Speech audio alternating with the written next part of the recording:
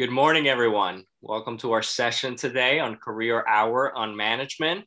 I'm excited to have our team from TransPerfect here who are going to uh, just have a conversation with us about um, being a manager, you know, and what does it mean to be a manager?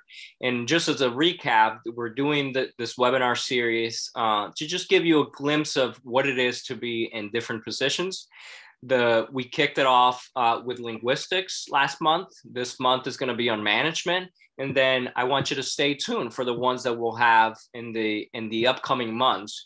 So with that tabby i'm going to just uh, allow you to introduce yourself and then introduce the group and then we'll kick it off from here. Awesome. Well hello everyone. Thanks for joining. Um, i'm tabby or Tabitha, whichever you prefer. Um, I work in strategic initiatives for TransPerfect. I've been with the company for about nine years. So, all of us who are here joining you today are joining from TransPerfect, which is a language and technology solutions company. If you're curious to learn more about what we do, um, we've done a number of sessions through CFES Brilliant Pathways. All of those are available recorded.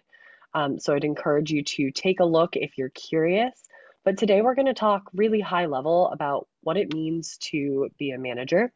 Um, joining me today, I have Jin Lee, who's our Senior Vice President of Global Production, Momiko Taniguchi, who is Production Manager for Intellectual Property, and Monica Mora, who is a Production Manager of all of APAC Production. So that's all of our Asia Pacific teams.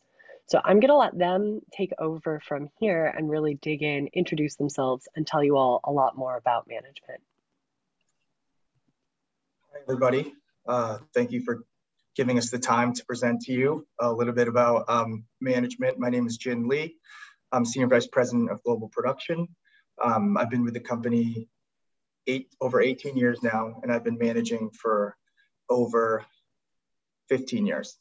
So I started off at a really young age. Uh, I currently manage around 1,500 employees around the world um, in locations like Japan, Hong Kong, London. Uh, Momiko and, and, Monica are part of the management team in San Francisco. Um, and yeah, uh, I've been, I think it's really important. Well, we'll go into a little bit once uh, Momiko and Monica introduce themselves on, on why it's important to talk about man what management is. Hi, everyone. I'm Momiko Taniguchi, and I'm in our San Francisco office. Well, today I'm working from home, but I've been with TransPerfect for uh, 10 years now, and I manage a team of project managers who specialize in patent translations. And it's I'm excited to be here with you all. Hi, everyone. I am Monica Mora. I am also a production manager here in San Francisco. I help support our Asia teams, uh, Tokyo, Hong Kong, and Seoul. And we're a group of project managers here based in the US, uh, supporting from a US time zone. And I also have a team out in London. All right, next, next slide. So pretty exciting stuff, right? Why is it, why are we talking about management? Because I, um, so any sort of job or structure that you know of will have a manager. So for example, in a school, you got the teachers and the teachers have their boss is the principal and the principal's boss is superintendent. I think that's right. Uh, and then it goes up from there, whether, you know, whether you're in a coach or an athletic director or in any sort of company or corporation, you're going to have a group of workers and they're going to report to a manager. And that person reports to another manager who eventually reports to the, to the CEO. So um, talking about management today is really uh, important because every single company has one. Um, and the main functions of being a manager, uh, especially at a, a, company like ours, is to is to a, you know, your your job is to you have the awesome responsibility to um, influence somebody's career.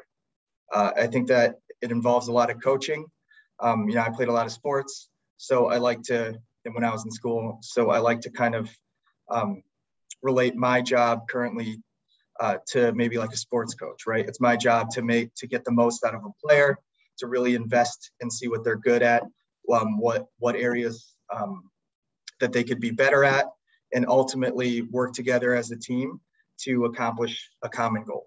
And I think that you know, as as you guys, you know, when you become freshmen or you're kind of brand new to the, I guess, high school, and then um, when you go to college, that also be a new beginning. And then when you get to the working force, no matter what background you have, you're pretty much starting um, from the ground up. And, I, and that requires, and our job as managers is to make you successful, make you, um, you know, build a level of trust with you to show that this company is the best place for you, and hopefully that you can grow and uh, develop uh, at your your skills at this at a company like ours.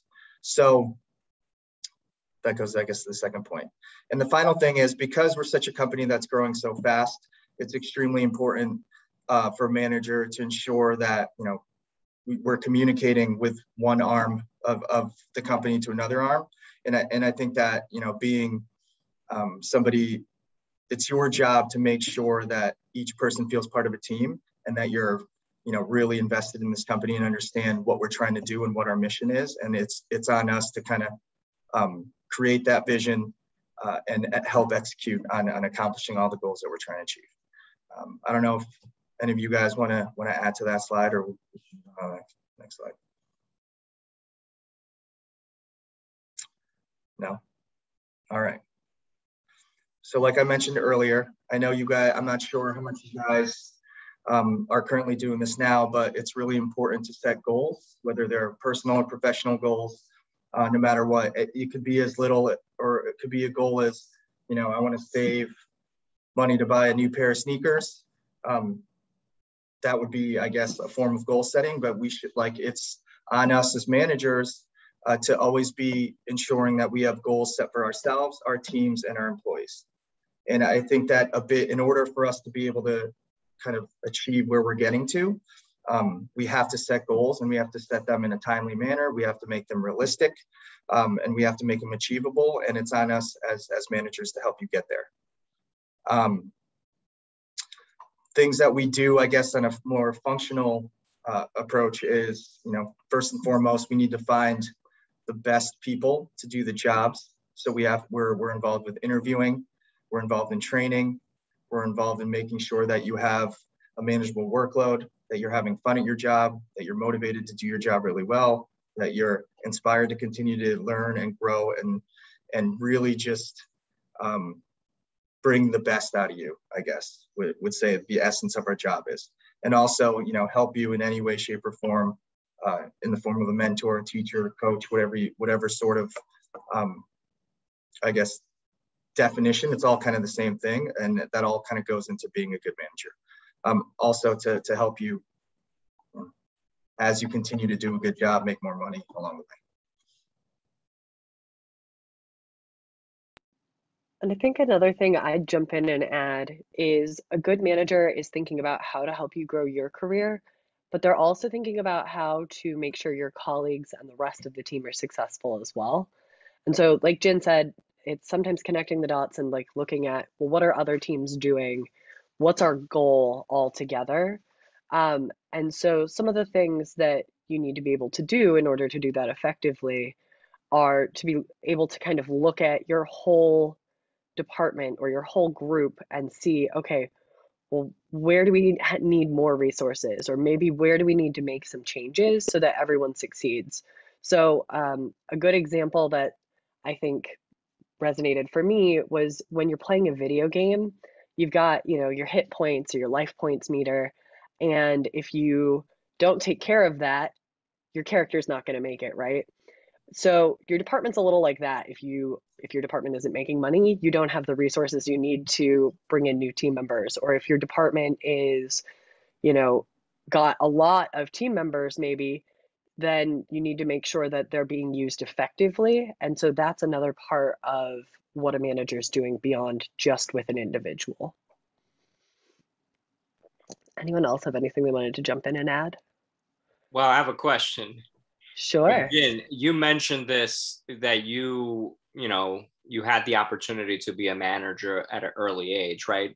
So, can you talk a little bit about that? You know, what were some of the things that you were involved in? And and this is this goes to for for the rest of you, if you can chime in about what were some of those things that you were doing uh, professionally to help you kind of move up but also how did you help the teams around you to move up as well? Because you know you mentioned that Jin, you know, like you don't have to be in a management position to to help um, others level up too, right?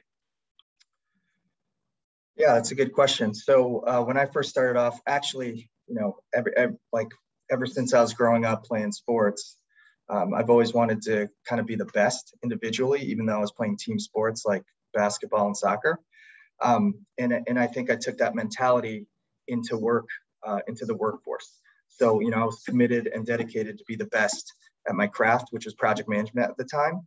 And um, unfortunately, I actually wasn't very good at it. Uh, so I had to work really, really hard and I had to take a lot of critical feedback and obviously got to a point where if I didn't shape up, I would lose my job and then I would, you know, be out in the street. So it was really important that I had to have a positive attitude, be super resilient. And then, um, you know, I got mentorship from my brother who told me that, you know, you've always thrived to be the best. Like, why couldn't you be the best at, at this position? And, you know, that really resonated with me. And I would never forget because I was like, I know I can do this job just as good as anyone else can do it. And he was just like, that's not the type of attitude I know from you. You're, you, you can be just as good. Why can't you be the best? And then, you know, I really just thrived to be the best. And, and, you know, fortunately things were able to click for me and I had to be a master, master my craft. And the things were at, so where I actually changed was recognizing, hey, instead of just being the best and being like accomplishing, like kind of accomplishing on an individual level, what was a lot more rewarding to me was to be able to um, have an opportunity to um, not only be good, like be able to pay it forward and train people to be just as good as me and like see people who are really motivated, good at their jobs and super ambitious and help guide and coach coach them to be really successful.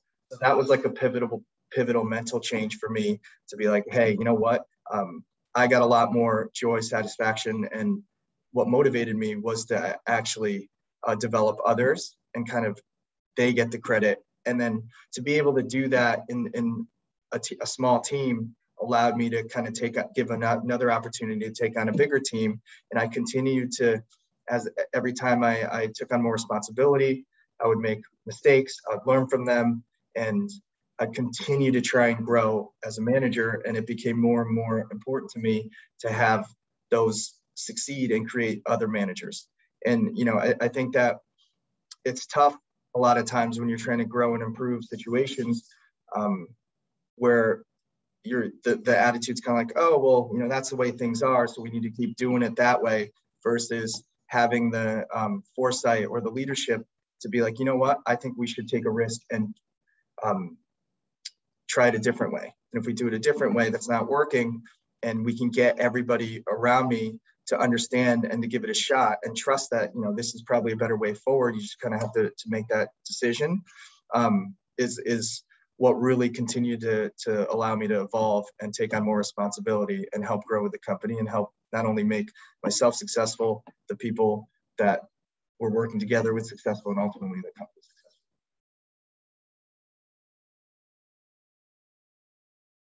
Just to piggyback off Jin, I think a big part of being a leader as well is not giving up. A lot of times when you are, you know, trying something for the first time, you may not be great at it. You may get some, you know, negative comments or feedback that may not feel so good, but really being able to identify the learning lesson in it all and really growing from there, I think is really important.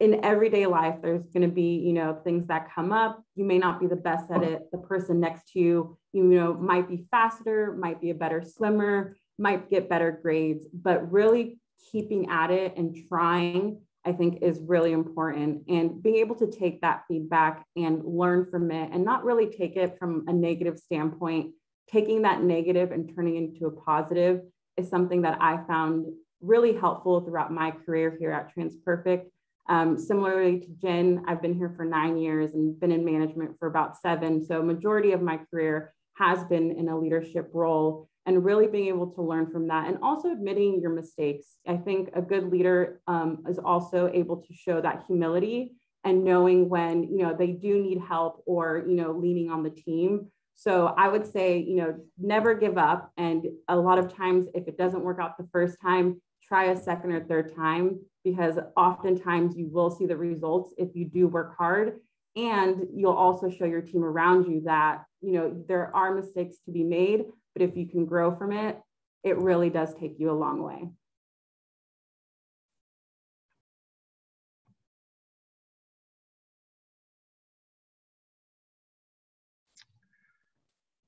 all right so really important skill for a leader is to value and be able to make the team operate really well. So going back to sports reference, uh, if you guys, you know, you can have, especially in basketball, you know, you have like three best players and they call them in the NBA, they call them super teams now. That doesn't necessarily always translate into uh, a championship, right? So, um, you know, it's on the coach and the manager to really find the best people and have them work together uh, in the, the most cohesive way properly. It's taking different personalities and finding the right fit so that ultimately you guys are all on the same page to reach that vision that um, I talked about earlier that you set forth.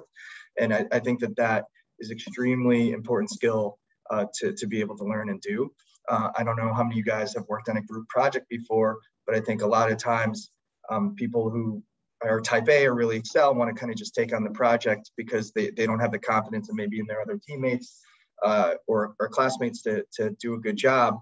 And, and I think that that would, even though like, I guess logically seems like it makes the most sense, but a manager's job is the opposite. You know, it's to, it's to kind of make sure that you're getting the best out of each team and make sure that each person is doing their part because it really does take a village to be successful in any sort of company and it's not really just one person kind of running the show and, and doing a great job uh, it's it takes everybody to do. Uh, it takes all these talented people to work together for a common goal to be able to be successful, and that's what a leader and a manager really does is to be able to kind of corral all these talented, smart, and ambitious people and make sure that they're they're um, giving them the best opportunity and working together as a team to be successful. Um, it really requires, uh, you know, I, I think we're in a time and a place where you can't just like say get it done. You know, you have to really lead by example you have to you know you shouldn't just because you're the boss or in a lead, leadership position you shouldn't be doing things or you, sh- you shouldn't expect others to do things that you wouldn't do yourself. And i think that that's really important because you know at transperfect at this company um, we really pride ourselves on all the leaders as you know as monica mentioned and, and myself and and mamiko we all did the job first and we all mastered our craft in order before we were able to actually uh, train and kind of lead people doing the same role that we did in the past. Um, I just want to add to that.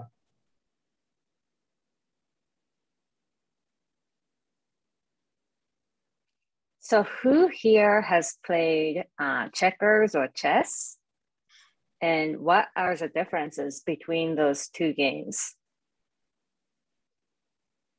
So I'm sure most people have probably played checkers, maybe not chess. But with checkers, all pieces moves the same way in the same direction, right? Whereas with chess, each type of piece moves differently. So you really have to know each character to be able to win the game. And with management too, you have to know you um, you have to really learn each person's strength and weaknesses to win as a team. Hmm. So as a manager you you need to learn you need to get to know each person on your team and learn their strength and really understand what motivates them. And as you do that you're able to work as a team because everyone's using their strength. And when you realize that, um, you realize as you you start to appreciate as a team member um, people's strengths, and you realize, okay, they're helping me with their strengths, and I'm able to help them where I'm good at, which builds a sense of in uh, community and a team, and you become dependent on each other which builds a stronger sense of team. And as you know, there's no I in team, but there is in win.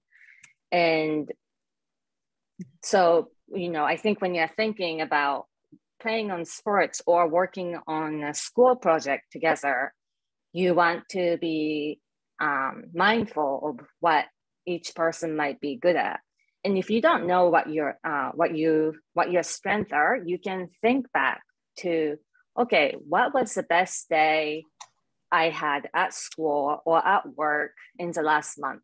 And think about what that was and what you enjoyed the mo- most.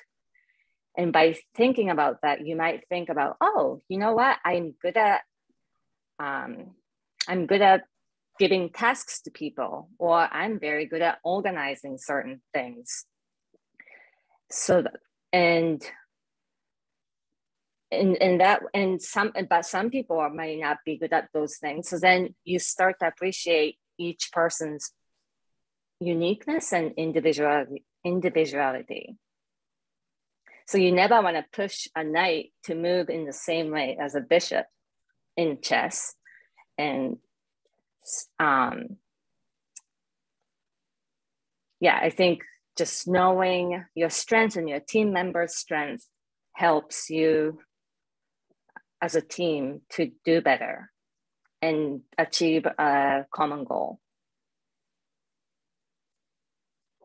And I think with that, knowing that there's, you know, different ways to approach each person, it's also important for you as a manager to learn how to give feedback and how to take feedback, right? If we, it's really easy to get defensive, right? It's really re- easy to be like, no, I did it this way and this is the way I did it.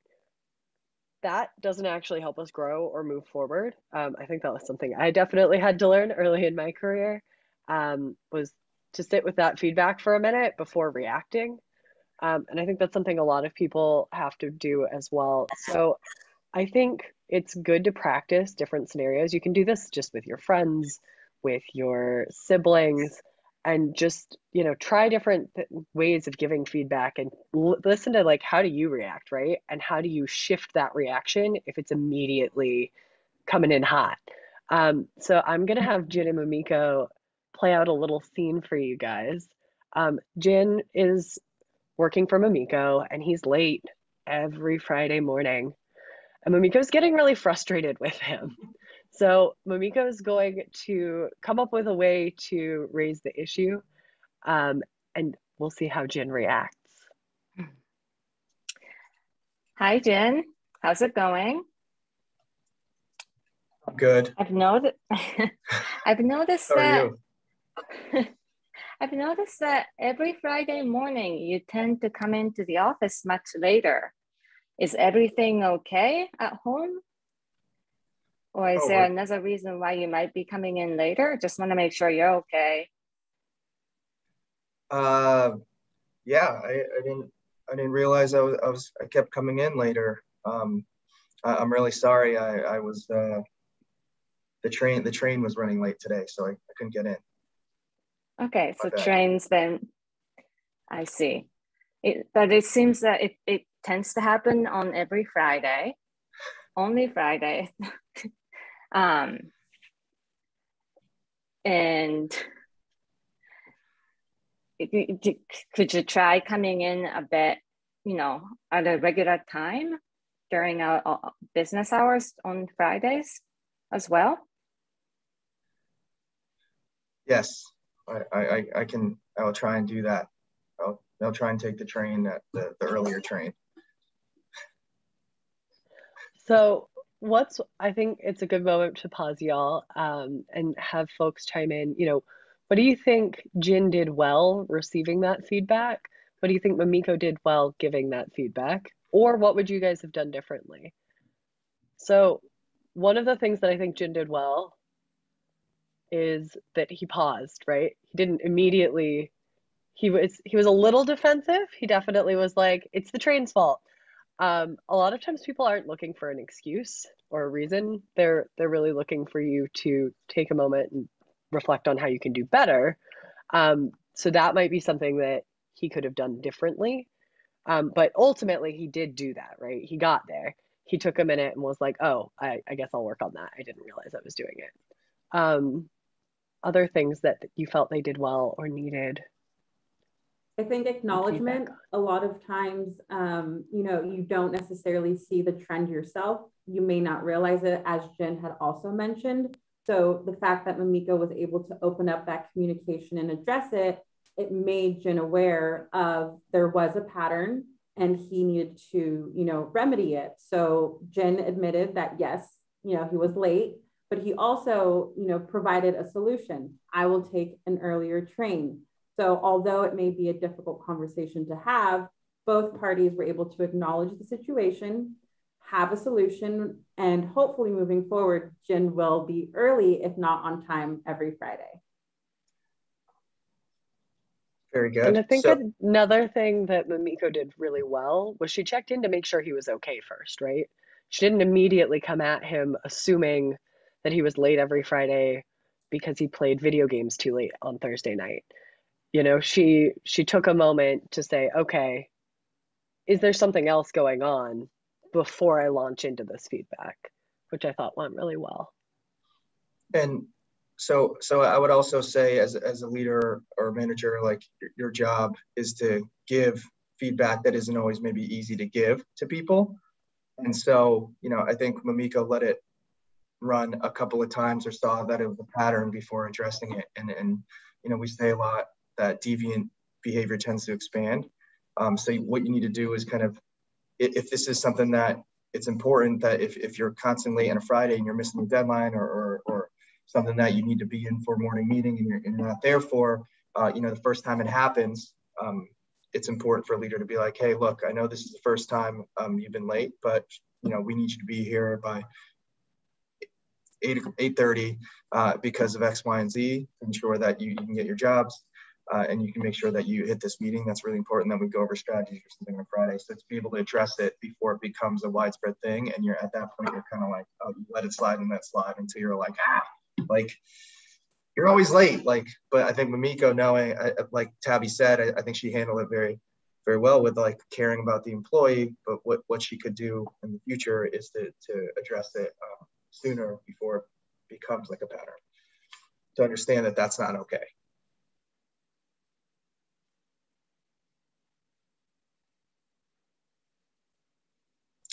And yes, as for me, I think taking the accountability to say, you know, I, you know, I probably knew I was getting late, and because Mamiko wasn't really noticing, I, I, I took advantage of that, and I just kept, you know, if I was playing video games too late or whatever, and I just coming in on Friday, uh, I think that's something that, um, you know, I should recognize and I should have done initially. But a manager's job is to tell me what I'm doing wrong and giving me that feedback. And it's on me to, to like we said earlier, like Monica mentioned earlier, to be um, humble and be accepting of that feedback because you know a good manager is going to create a level of trust where when they do give you feedback it's because they want you to do better versus they're trying to like scold you or, or um, get you in trouble.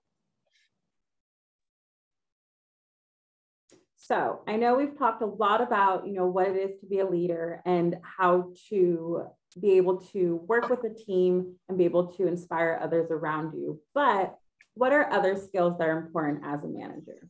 A lot of you, I'm sure, have had practice doing so, but presenting and teaching is something that is super important as a manager. Why?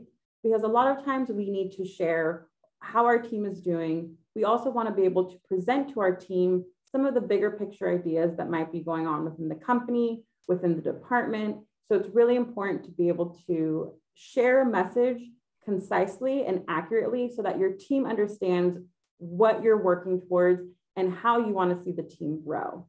Along with that, you also need to ensure that you are doing the proper research. Are you looking at the correct numbers, looking at certain trends that are happening within the business, within the department?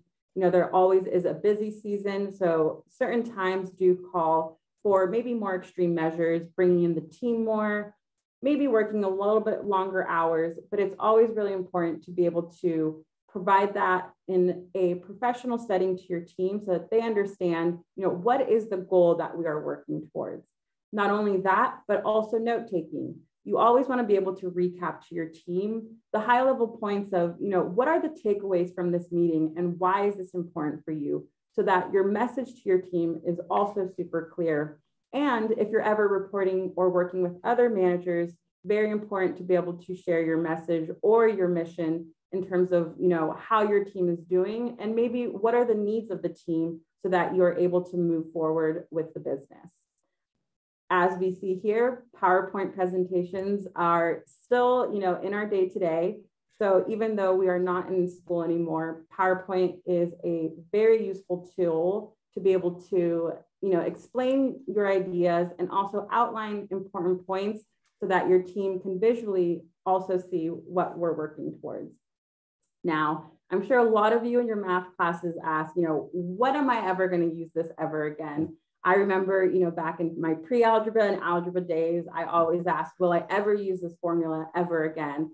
But good news is you are learning this for a reason. And some of what we do here as a manager is we use basic algebra just to calculate our gross margin see how our team is doing, and also be able to track our profitability and set goals for our team, because that's also very important to be able to numerically and number show your team, you know, what is the goal?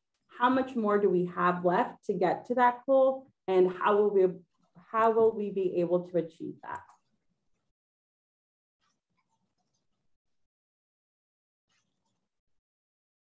Other career options people with management skills excel in many different roles and a leader can you know look different ways so roles in hr roles in recruiting specifically to transperfect and to our teams here project management is something that if you know you are interested in you definitely can have those uh, paths to become a leader within project management also consulting Now, this is a big question that I remember going into high school. You know, what is after high school, college, and what am I going to be studying, and what is my degree going to be in? Fortunately, managers come from all different types of backgrounds. So there really isn't a one answer, you know, you need to get into this degree or study this in your undergraduate to become a leader. A lot of uh, degrees that we see here at TransPerfect. Uh, most people have um, backgrounds in business management, liberal arts, international relations, and similarly to myself, I actually studied global economics uh, in my undergraduate. But as I mentioned before, anything really can lead you to that success and that path to leadership. So don't feel that you are limited or you have to fall into a certain, you know, degree or school because leaders do come in all shapes and sizes. Um, additional education, you if you are you know looking to go to get your master's or continue your education past undergraduate, master's of business administration or also master's in management is an option for you. And similarly, we also have some employees or leaders that have military background. What does that look like? It could be officer training, it could also be, you know, more into a traditional sense of a college where they do have the ROTC program, which is the Reserve Officers Training Corps, which I I know a few friends that you know went down that pathway and they were able to find you know their niche and what they liked in terms of management and were able to also fall into leadership roles even though it may not have been the traditional four-year undergraduate program so you definitely don't have to fall within one category to become a leader.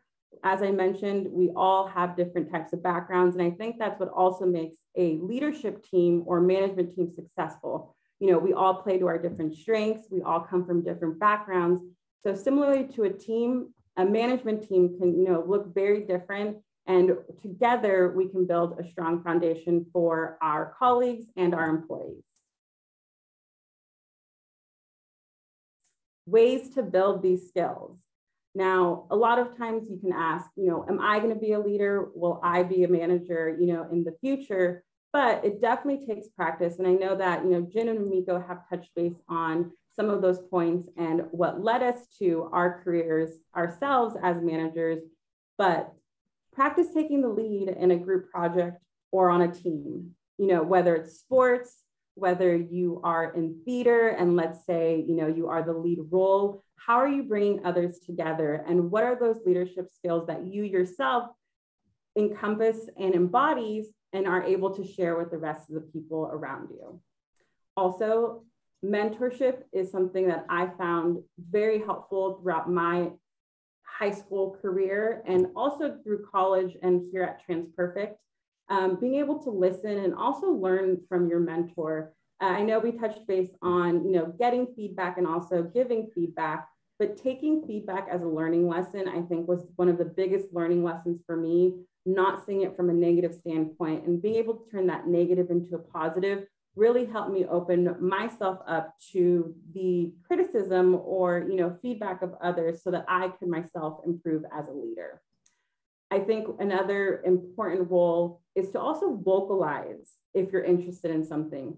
A lot of times people will wait for that opportunity or they're a little afraid to speak up because it might not be the cool thing to do. But being able to vocalize what you're interested in is something that will also open up different types of doors that maybe you never thought possible, or even trying something new. I know for myself, uh, when I was in high school, I played or I swam, which swimming is a very much individual sport. But I had a few friends that tried out for water polo, which is a bit more of an aggressive sport than I'm used to.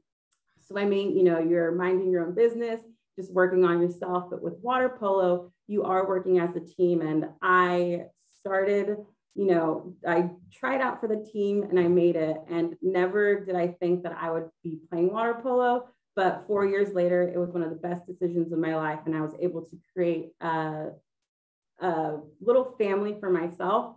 And through that, I was also able to practice some of my leadership skills. So without taking that risk or, you know, saying, hey, maybe this is something I'm interested in, I would have never been able to be able to fall into a team that helped me, you know, move up towards co-captain and really help lead the team. So being able to be open-minded and really take some of those opportunities might be a little risky, but you'll learn a lot about yourself and those around you.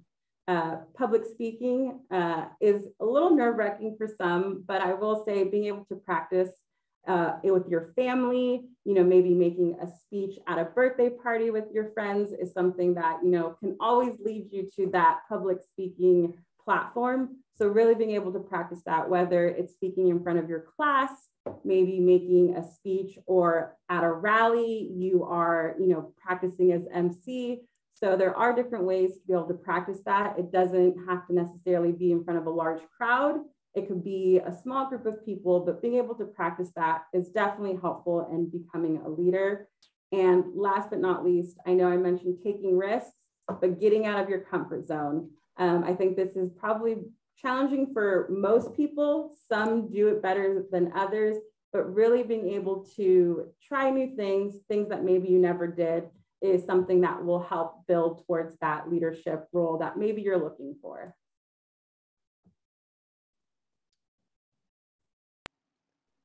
Awesome. Well, thank you everyone for all of your really valuable advice. I feel like I've been learning a whole lot. Um, I'd be curious to hear if we have any questions from our audience or from Manny, anything that folks are hoping to know from our team of experts here. You know, I always have questions. and I uh I think in I, I really like that analogy of chess and checkers, and I've never thought of it that way, um, which is which is really important um, because when we're in school, we're we're always so focused on you know what am I good at? What am I good at? We don't think about it. What is what is my my classmate? What are my classmates good at? That if I'm paired in a, in a group with them, we would be able to you know be the best group that that we can be. Um, Monica, you mentioned the the mentoring part, and I think that that's really key. One of the things, one of the ways in which students can can develop um, managerial skills through mentoring is through one of the activities that we use called Feel Good Jar. And this is one of the things you can do even at home, right? So what I'm I'm going to encourage you all to do is think of it this. Um, it could be a cup. It doesn't have to be a jar per se, but like with your name and do an activity with with your family uh, and and ask them to write the your strengths, what they you think what they think you're good at because those who spend the most time with you are quick to know the negatives too uh, right? But but more importantly we're keeping this on the positive side. In in turn what you're going to do is they're also going to have cups and you're going to do that because it is an art right? I mean and we heard it loud and clear.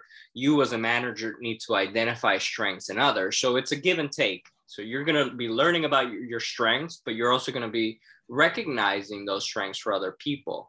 And just in a piece of paper you just drop it in and then leave it out for a week and then after the week come by read those strengths and that's how you're going to start identifying what are some of the things that you're good at.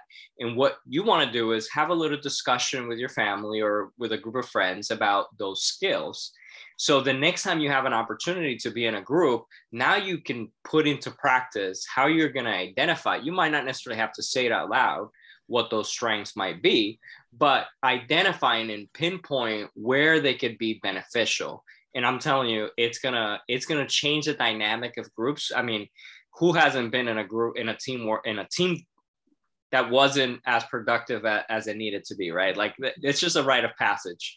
But what if you can start now on identifying strengths in your groups not just about yourself but also about others? I think you're gonna you know you all will be the next Jin monica and mamiko of, of the world because you are, are going to be getting a head start on on how do you develop those management skills. So I'd, also probably want to I, I don't know we're probably close to out of time but i just want to add one more thing. Um, and i'm not trying to ruin um, friendships here but i, I would say uh, you know if there's somebody that you really trust and you and you're working on we talked about giving feedback and taking feedback and obviously your best friends you really trust them and just kind of you know just start by saying okay well i want to learn how to take some constructive criticism, knowing that that's an exercise, and ask somebody that you really trust. Hey, whether it's your mentor or your a teacher or, or your friend, and be like, hey, what, what is one thing you think I can improve on? And if and if they say something, really see how your body feels or like your emotions feel when they when they tell you and if they and if you start getting defensive right out of the bat and start getting mad or start blaming them that's probably a natural human reaction to to being told that maybe you're not good at something, especially as somebody that that is supposed to be your friend. But friends are supposed to, um, and, and teachers are mentors and, and leaders in general are supposed to help you recognize, not just kind of tell you everything that you're good at and just yes you all the time. Because at the end of the day, uh, you know, you're constantly growing. And I think we mentioned, Monica mentioned it too. Uh, we made a lot of mistakes and you know, the people that really become more, more, successful are people who learn from their mistakes. The only way you learn that you make a mistake is, is to recognize you made one or you get that sort of feedback. And I think that there are little ways that you can do even, even now as students at a, at a young age to practice that skill. Um, I, I, do think it's, it's important because taking feedback, applying it, and then um, demonstrating that you can grow and improve on it, I think is, is a really good way. And I know it's, it, and that's kind of the foundations of becoming a good leader right? You need to be able to learn how to listen uh, to others to be able to understand what they're thinking to, to apply it to, to be better yourself. And that's something that we try and practice all the time here.